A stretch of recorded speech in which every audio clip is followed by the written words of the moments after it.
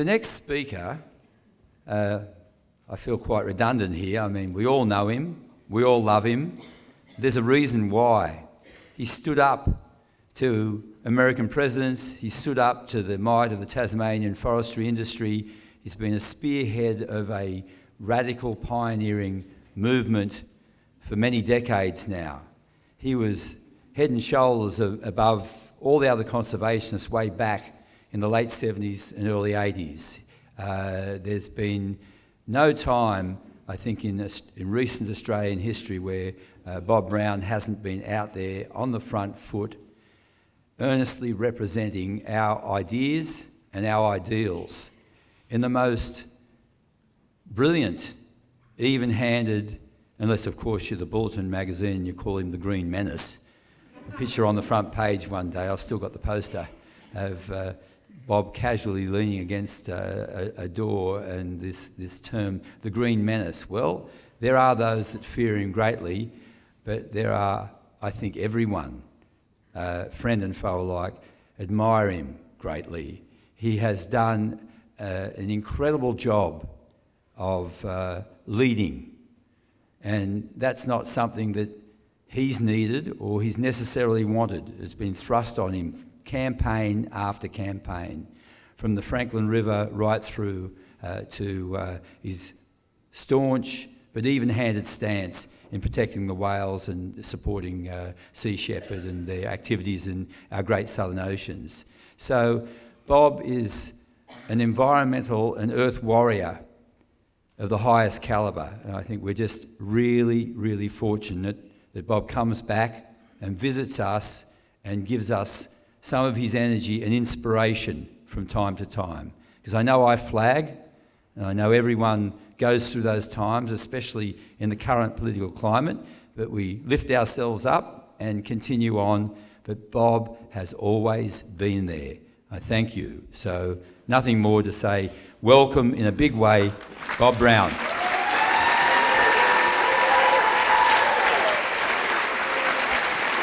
Thanks, Ian. Bundjalung people, Dawn, Tamara, Simon, everybody. Great to be back here in Bangalow. Uh, I just want to um, come back to a matter that Ian touched on before we move on. This week, an environmental officer going about his job of upholding the laws that our parliament set uh, and these happen to be laws in protection of the planet, was shot dead. And today I've written to his family, and I wanted to share this with you. Dear Alison, Mrs. Turner, Alexandria and Jack, his children, my thoughts are with you in this terrible time. I honour your husband and father, Glenn Turner. His courage and work for a better future for our troubled earth and its natural realm will never be forgotten. I'm speaking at Bangalow A&I Hall tonight, and we will pause to pay tribute to Glenn's life. My sincere condolences, Bob Brown. So, ladies and gentlemen, just stay where you are, but I ask you to pause for a moment and think about Glenn Turner, his family, and our planet.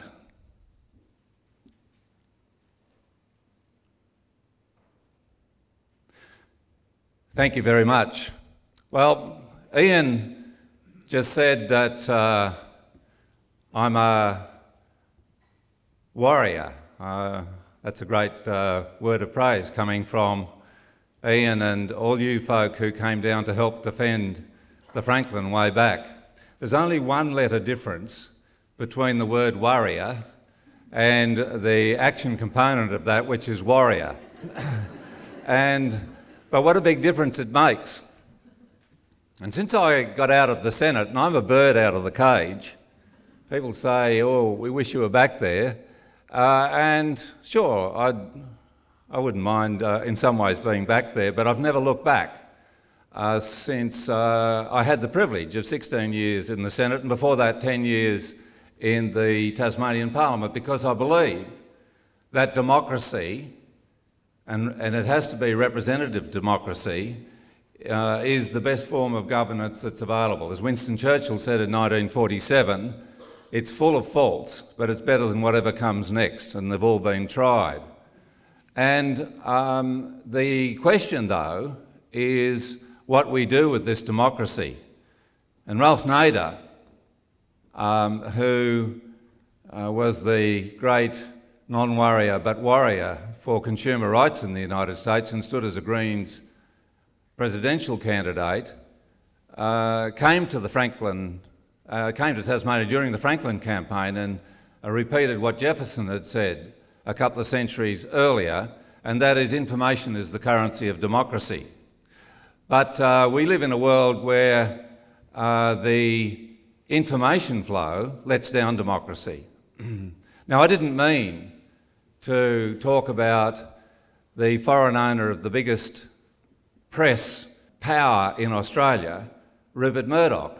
But there you are, I've just done it. and I wanted to just say for a moment uh, he, he does get a couple of mentions in this book, Optimism, which um, I'm here to talk about at the Byron Bay Writers Festival and to promote over the next month. The fact is that we live in a democracy with contaminated flow of information. And it's contaminated and based on the interests of the already mega rich and powerful as against those of ordinary citizens around the planet. And it won't be until we find the means of redressing that balance of the flow of information and indeed the power of lobbying on our representatives in our parliaments, be they local, state, national, or international, that democracy will begin to flower as only it can on a planet in which we share these days information about each other right round the world. Uh, we exist commonly and depend totally upon a single biosphere on a single planet in this vast universe full of trillions of planets. This is so far as we know.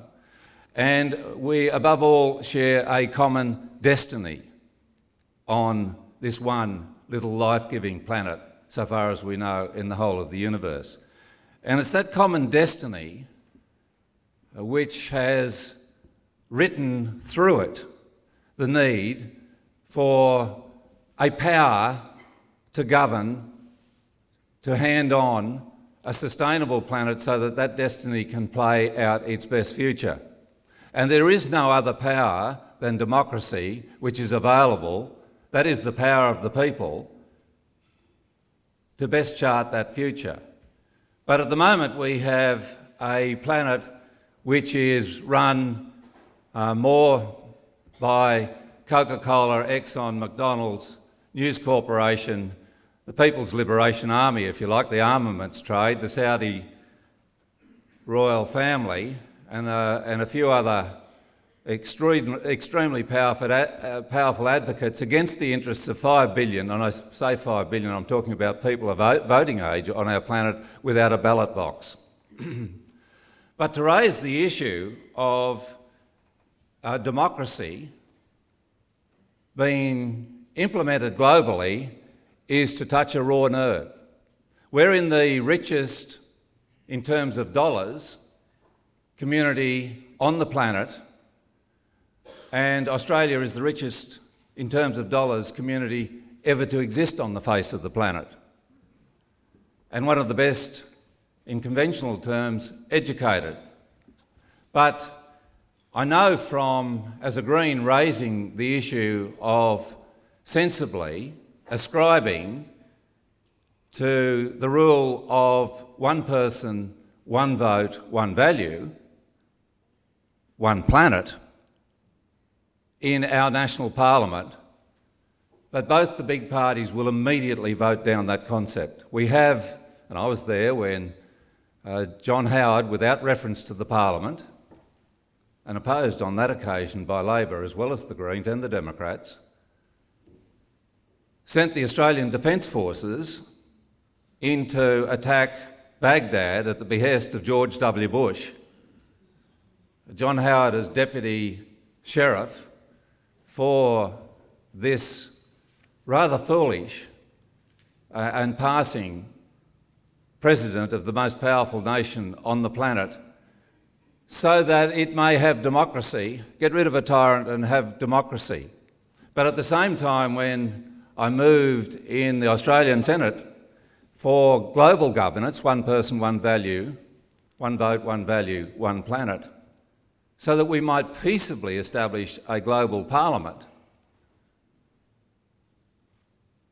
To deal with international events like nuclear weapons, armament spending, the international financial dealings, which line the pockets of the mega rich against the interests of the very poor.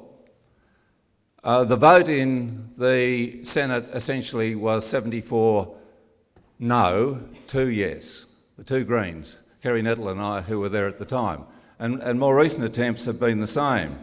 And there's some fear, as a, actually a senior Democrat senator said to me as we went to vote on one person, one value, one vote, one value, one planet, Bob, don't you know how many Chinese there are? And uh, it's a scary thought because there are 1.3 billion of them and there's 23 million of us. But the truth is that until we understand that everybody on this planet is equal and that our destiny is common, we are in danger of ending up fighting each other instead of charting that common destiny.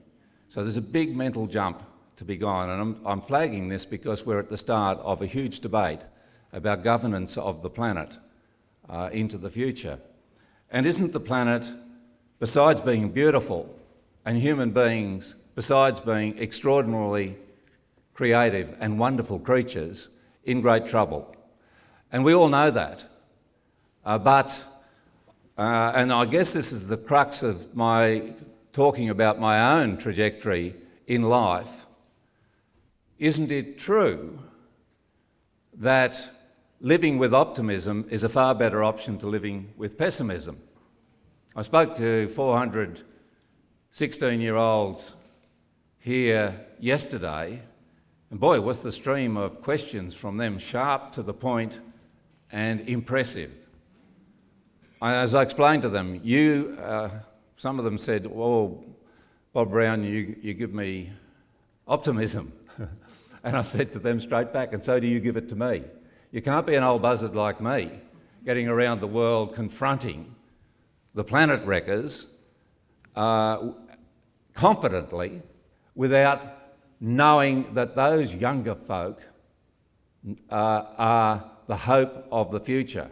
We tend to beat it out of them, we tend to advertise it out of them, we tend to public relationship it out of them, but in them is a, a collective common sense, and this is globally, which, if unleashed and let go, is the saving of the future of this planet. Now, when I was younger, well, first of all, one of the stories, I think it's the third or fourth, is about my father Jack he was Jack Brown. Actually, my grandfather skipped from Britain and changed his name from Spooner to Brown. Now, um, until I hear definite news to the contrary, uh, we presume it's because he was escaping the draft for the Boer War. And I say, I never knew this grandfather, but good on you, George Spooner changed to Brown, uh, for avoiding being conscripted for the Boer War. Whatever, uh, my father, Jack, uh, became a policeman like him. On my birth certificate, they had Jack Brown, and it was crossed out at the end and changed to Robert, which is a very popular name uh, during the Second World War. So I should have been Jack Spooner, but in fact I'm Bob Brown. Um, not quite as poetical, I don't think, but anyway, here I am wearing that label. And when I was six, I was confronted one Sunday lunchtime with a hot dinner at Trunky Creek. This is on the old coaching road from Bathurst to Goulburn, where my dad was the local police constable, which had on one side a pile of my father's organic but nevertheless dreadful spinach, uh, and I refused to eat it. And I can still remember his hand on my the back of my coat as I was taken, or jumper, as I was taken up to the cells at the back of the police station, put inside, no windows, and the door slammed shut and the bolt closed. And half an hour later, after I'd had time to think about my defiant refusal to eat this repugnant stuff called spinach, I was taken back down and sat at the table and had to eat it cold. Uh, and I chided him about that when he became a very old man and was sitting with me down at Liffey. And he had a, I said, you know, Dad, that was cruel and unusual punishment to do that to this poor six year old child. And he had a twinkle in his eye and, and said, Why is that? And I said, Well, because after I'd spent my time in jail, you added the punishment of making me me eat it. But as I recount there, that was followed then by my mother's lime jelly, apricots, custard, and a sprinkle of coconut, which was a very sweet ending to the saga. What he didn't know at the time, and what I didn't know, was that that was very, very good training for a future period of eight arrests, and I've forgotten how many times in jail in, in Tasmania, where uh, it became very apparent to me that besides police officers' sons and daughters, those who did best in jail amongst the greenies who were arrested were those who'd been to boarding school. Uh, they'd at least had some parallel experience. And when we were in the jail in Risdon in Christmas 82, 83, uh, and, a, and, a, lot of folk from this region who'd come straight down from Terania Creek and Nightcap were there or up helping others to be processed. Uh, when we were in there, along came one day a friend sent me a book called On Walden Pond by Thoreau, the 1840s American author who inf- was later influenced uh, Tolstoy and Gandhi and Martin Luther King with his peaceful disobedience. And uh, because he was, a, he was a, opposed to paying taxes for the then United States to invade Texas, which was then part of Mexico, and it was taken by force off Mexico, and he refused to pay taxes, so he spent a night in the clink as a result. But he said, when the law is wrong, I'm paraphrasing here, then a citizen should consider making a stand again, come, come what may the consequence. And anyway, a friend brought in the book called On Walden Pond, with a, the subtitle and an essay on civil disobedience, and the jail authorities immediately confiscated this dangerous piece of literature. And that day they said, But you've got to go, it's the monthly film, and you must come and see the film. And uh, we had to do that with all the other prisoners, the murderers and, uh, you know, violent uh, thieves and so on. So I said, What's on? And they said, Caligula, the unexpurgated version. And I said, Well, I won't go. And they said, Well, you'll go straight to solitary confinement. So they had banned the essay on civil disobedience, but forced us all to go and watch the bloodlust of Caligula. And I've thought about that quite a bit down the line because it is uh, a pretty salient idea of some of the malfunctioning of our society that violence is entertainment and peaceful instruction on a citizen's right to protest becomes a villainy. And as we are here at the moment, my foundation uh, in Tasmania, the Bob Brown Foundation, pity about that name. It'll be okay when I'm dead and gone, but at the moment it does sound like a superannuation fund for a retired politician. However, it is a found, and, and um, I'll at least use the excuse that the board won't change it. I've tried to change it to the Franklin Fund and the Liffey Foundation and so on, but I just have to live with it. However, it's there to help impecunious greenies who have extraordinary courage, who are standing up and defying the odds in defence of our nature and this planet's uh, well-being. And so um, it's, a, it's a tribute to uh, people who do make such a stand non-violently in the spirit of Thoreau and Gandhi and Martin Luther King and so many people who uh, these days face extraordinary danger just standing up for our planet. And as we're sitting here, I can tell you that the lower house, the new Liberal government in Tasmania, voted in by the people with eyes wide open, as uh, was the Abbott government last year, uh, have passed legislation which means that if you peacefully go and stand in front of a chainsaw or a bulldozer, as we did during the Franklin years in the forests of Tasmania in future, the first offence will be a mandatory sentence. The judge has no alternative, a $5,000 fine for peacefully standing in defence of the planet, rare and endangered wildlife, tallest flowering forests on the planet, pristine rivers, and so on. And second time you do it, the penalty is three months in jail. There is no such mandatory sentencing for murder or for violent crime. But there is now for defending peaceably what's left of the wild face of this planet, which gives us all we human beings are in terms of a reference point, an anchor on the past, and the creativity and the beauty that we enjoy as a mammal, part of a herd now of 7 billion on this planet this century. And we're going to face more of that as we go into the future. And I've got a little essay there on the white goshawk, this fierce red eyed, pure white hawk. And one of them stood above my head in the forest, and it does say in the book they have a fierce look about them. And she, the, the, the female's the bigger one, and I said, she looked straight at me, and I felt it wasn't just fierce, it's pulverising the look that you get from these magnificent creatures. But they're down to a few hundred breeding pairs and they depend on the forest. And one thing we can't get away from that if you take away the nesting sites, you take away the bird. No nests, no birds. And the scientists tell us that 25% of our birds will be extinct, this is Australian birds, this century. and the global assessment is that on current rates, and they're quite conservative, 75% of the global bird variety will be extinct by the end of next century.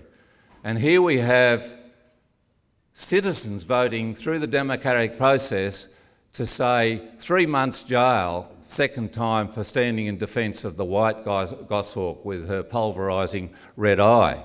And the question is who of us is going to turn their back on that magnificent part of the natural ecosystem of Tasmania and the equivalent elsewhere. They're called grey goshawks because they're not, not uh, white like the Tasmanian variety on the mainland. Who's going to turn their back on those because we are threatened with a jail sentence? And as I say uh, in the book, I will be there to stand in defence of the white goshawk uh, because who else is going to? And I, part of the foundation uh, Judith Wright said to me, the great Australian poet uh, and feisty environmentalist who, amongst other things, helped save the Great Barrier Reef that we're now fighting to try and save again, pulled me up just before she died. She was almost stone deaf in Canberra in the mid 90s and said, Bob, what has happened to the fire in their bellies? And she was talking about us environmentalists. And indeed, it's a question that echoes down the line with me. This comfort zone that we are all in, in this wealthiest society ever to exist on the face of the planet. This feeling that we can't stand against the odds. Well, it's a recipe for pessimism. And I'm an optimist. And I know that when you become optimistic, you become active. And you can take it as you like. You can be pessimistic and in a torpor, or you can be optimistic and take action.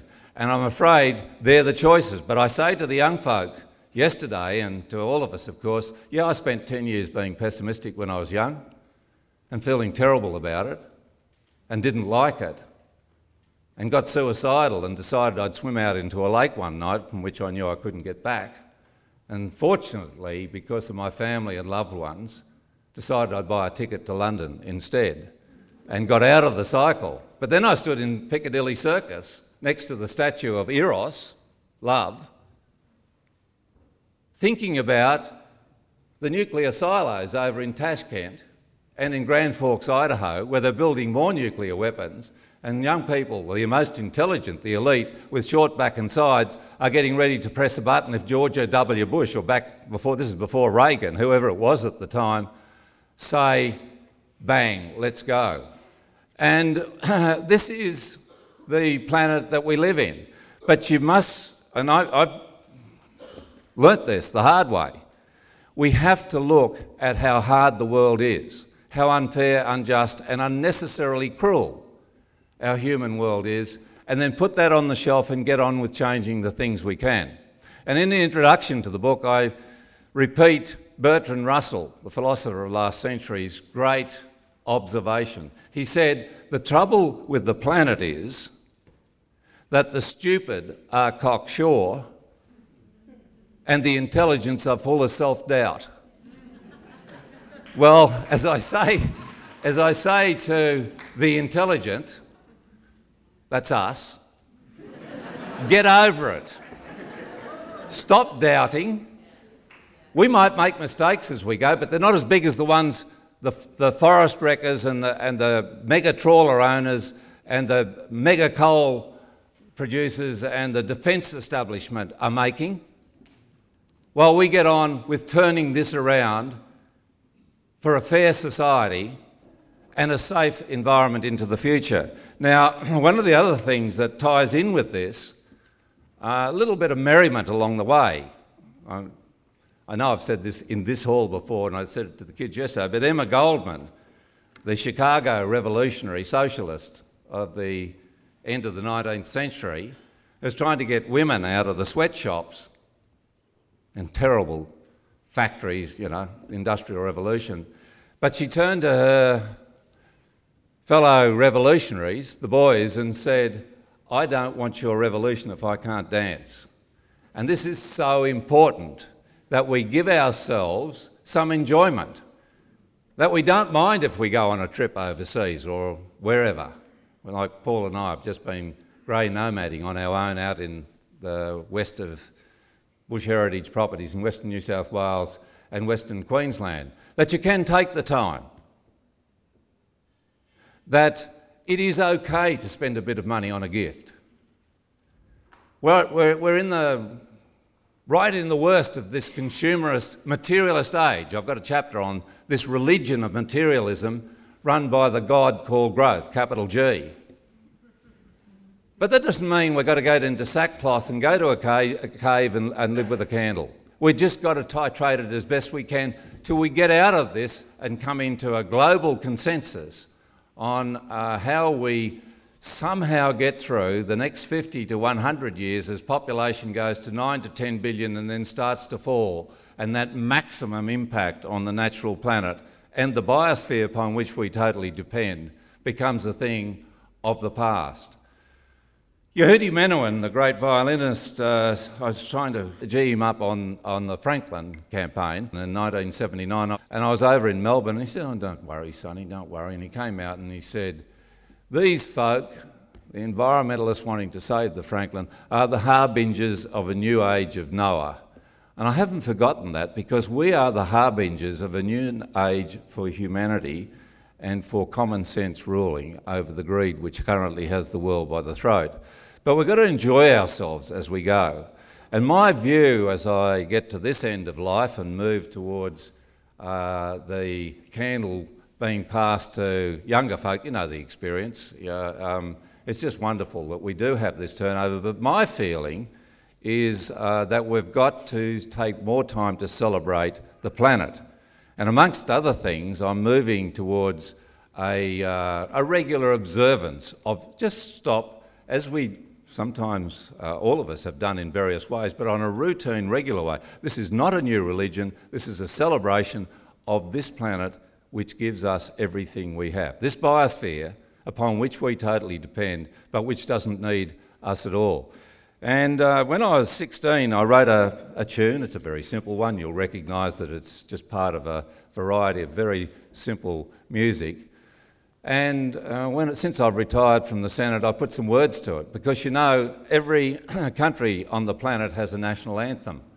If you're tuned into the Glasgow Commonwealth Games at the moment, you'll hear that the only national anthem that exists on the planet at the moment is the Australian one. I think all the other teams failed to turn up there because when I watch Channel 10, all we see is the Australian national anthem and Australian medal winners.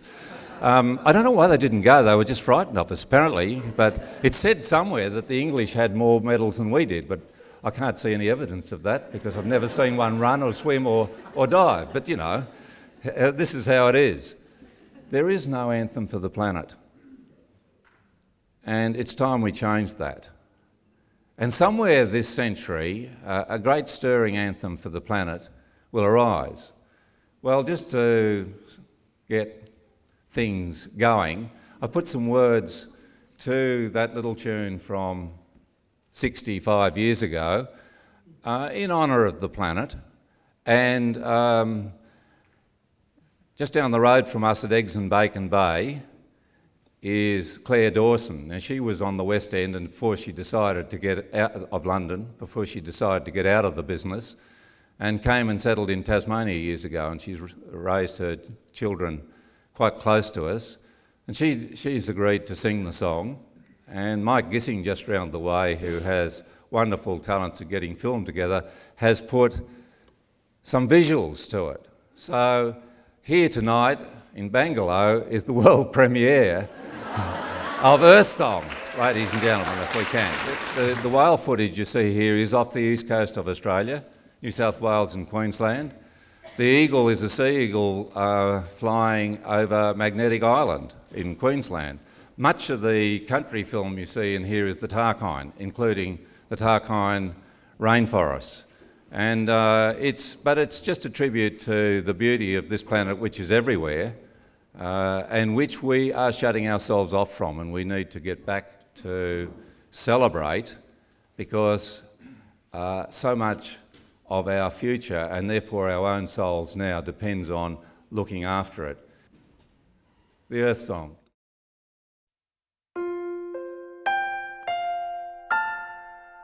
This is a planet, life's only cradle, warmed by the sunlight, it gave us birth.